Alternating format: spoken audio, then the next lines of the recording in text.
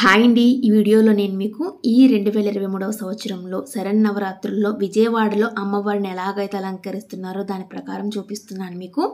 మొదటి అలంకరణ అక్టోబర్ పదిహేను ఆదివారం ఆశ్వేజ శుద్ధ పాడ్యమి నుండి తొమ్మిదవ అలంకరణ అక్టోబర్ ఇరవై మూడు సోమవారం ఆశ్వేజ శుద్ధ నవమితో అలంకరణ పూర్తవుతుంది. తొమ్మిది అలంకరణలు పూర్తయిన తర్వాత పదవ రోజు అనగా అక్టోబర్ ఇరవై నాలుగు మంగళవారం ఆశ్వేజ శుద్ధ దశమి రోజున విజయదశమిగా జరుపుకుంటాం. కలసం పెట్టుకునే వాళ్ళు మొదటి రోజు అంటే ఆదివారం ఉదయం పదకొండు గంటల ముప్పై నిమిషాల నుండి మధ్యాహ్నం పన్నెండు గంటల పదిహేను నిమిషాల మధ్యలో కలసం పెట్టుకుంటే మంచిది. మొదటి అలంకరణ వచ్చి శ్రీ బాలా త్రిపుర సుందరిదేవి అమ్మవారి అలంకరణ. తిది పాడ్యమి వచ్చింది. నక్షత్రం చిత్తా నక్షత్రం సాయంత్రం ఆరు గంటల పన్నెండు నిమిషాల వరకు ఉంది. రంగు గులాబీ రంగు లేదా పసుపు రంగు రంగు చీర కడితే మంచిది. పువ్వులు ఎరుపు రంగు మందారం పువ్వులు నైవేద్యం పులిహోర పరమాన్నం. అమ్మవారి దగ్గర జపించాల్సిన మంత్రం ఓం ఐం హ్రీం శ్రీం బాలా త్రిపుర సుందర్యే నమో నమ లేదా ఓం ఐం క్లీం సాహు. రెండవ అలంకరణ వచ్చి శ్రీ గాయత్రిదేవి అమ్మవారి అలంకరణ పదహారవ తారీఖున.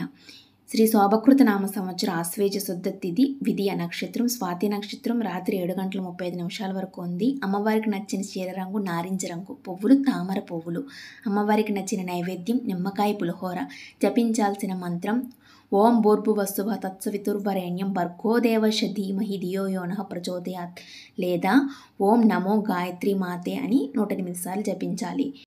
మూడవ అలంకరణ అనగా పదిహేడవ తారీఖున శ్రీ అన్నపూర్ణ దేవమ్మవారి అలంకరణ శ్రీ శోభకృత నామ సంవత్సర ఆశ్వేజ శుద్ధ తిది తదియ నక్షత్రం విశాఖ నక్షత్రం రాత్రి ఎనిమిది గంటల ముప్పై ఒకటి నిమిషాల వరకు ఉంది.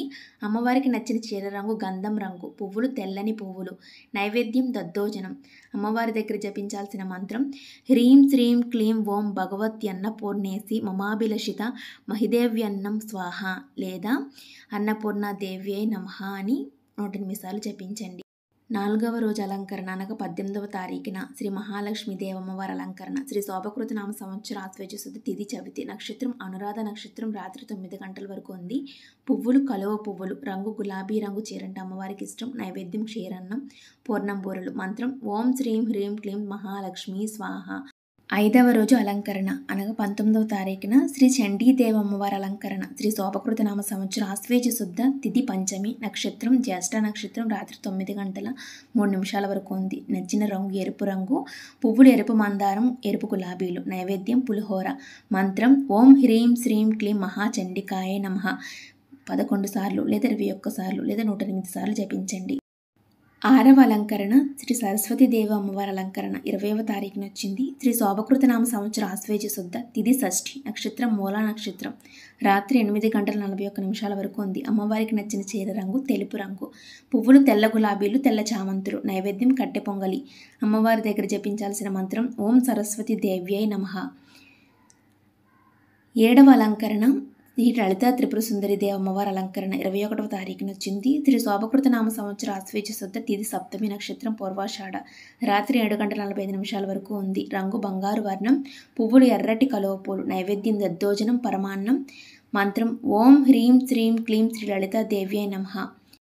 ఎనిమిదవ అలంకరణ ఇరవై రెండవ తారీఖున వచ్చింది శ్రీ దుర్గాదేవమ్మవారి అలంకరణ. శ్రీ శోభకృత నామ సంవత్సర ఆశ్వేజ శుద్ధ తిథి అష్టమి నక్షత్రం ఉత్తరాషాఢ నక్షత్రం సాయంత్రం ఆరు గంటల నలభై నాలుగు నిమిషాల వరకు ఉంది.